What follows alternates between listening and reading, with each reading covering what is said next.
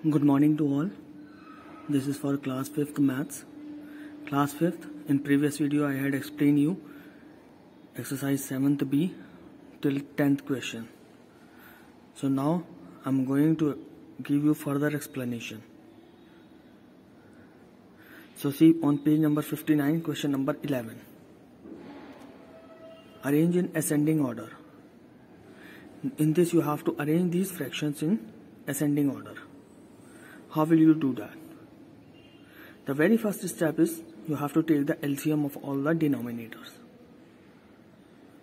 Denominators means 3, 6 and 9. Take the LCM of all the 3. You will get 18. Now in denominator you have to make 18 in every fraction. See this is how you have to do in denominator we have to make 18 now in 3 table how many time 18 is coming? 6 time. So first first fraction will be multiplied by 6 on both the side numerator as well as on denominator. Now in second fraction in 6 18 is coming 3 times. So this will be multiplied by 3 now in next fraction in 9 table 18 is coming 2 times so this fraction will be multiplied by 2 on both the side numerator as well as on denominator side. Now after multiplying these you will get 12 upon 18, 15 upon 18, 14 upon 18. Now you found that all the denominators are same. Now by seeing the numerator you can identify which is greater or which is smaller. So arrange it in ascending order. First is smaller, then greater, then greater. After arranging this in ascending order, put the original value of these fractions. 12 upon 18 that means 2 upon 3 then 7 upon 9 and then 5 upon 6 so this is your answer like this you have to arrange in ascending order similarly you have to do question number 12 also in that question you have to arrange in descending order. So till here the step will be same and after that you will arrange in descending order. Descending order means from the greater to the smallest. So like this you can do question number 12.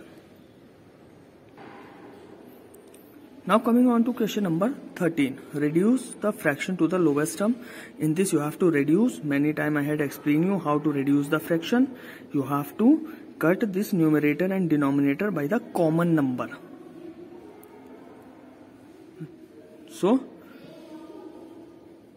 in this way you have to reduce this. Many time I told you. So now this is your homework. You have to do it by your own. Now in 14th question it is asking which of these are in the lowest term. Means you have to just tick that which is in already lowest term. See this 3 upon 11. This cannot be reduced further. So this is in lowest term. Take this. Like this you have to do. 5 upon 20. This can be reduced further. So this is not in lowest form. Leave it. So like this you have to take those number which those fractions which are in lowest term and you have to leave those fractions which has to be reduced more like this you have to do this. So this is your homework. Now coming on to next exercise exercise 7th C. In this you have to add the fractions or subtract the fractions.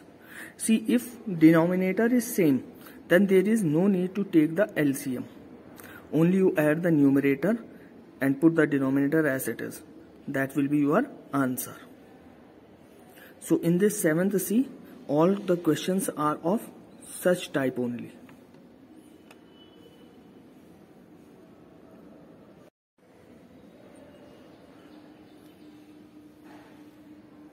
Now let me explain you second question A part.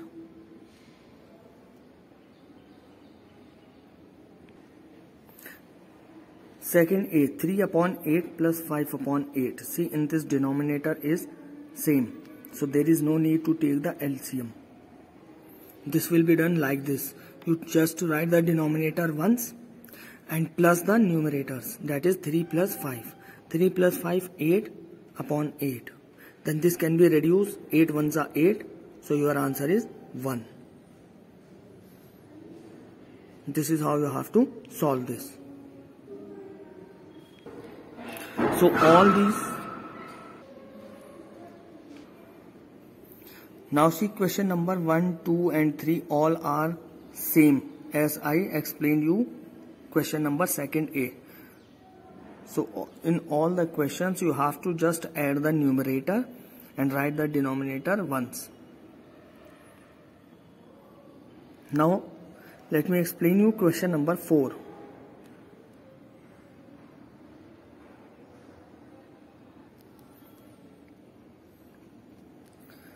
Eight upon fifteen minus two upon fifteen. See denominator is same. So there is no need to find out the LCM. This can be done like this only denominator you can write as it is and uh, numerator will be subtracted 8 minus 2 that is 6 upon 15 now 6 upon 15 can be reduced further by the table of 3 so now you reduce it 3 2s are and 3 5s are so 2 upon 5 will be your answer see the remaining part has to be done as it is so that is why I am giving you this as homework do it by your own Now coming on to next question, question number 6 A part. I am explaining you. See this is in mixed fraction. First of all you will change this. Okay, after changing you just add the numerator and write the denominator as it is. That will be your answer. See how this has to be done. See first of all you change it. So the fraction will become 39 upon 35 plus 78 upon 35 plus 108 upon 35. Now denominator is same. So write denominator once and add all the numerator. After adding all the numerator you will get the answer 225 upon 35. So this can be reduced further by the table of 5. So after reducing you will get 45 upon 7. This will be your answer. So like this you have to do the remaining part also. So question number 5 and 6 are also your homework. Now the exercise 7th C is completed. In next video I will explain you exercise 7th D. Okay.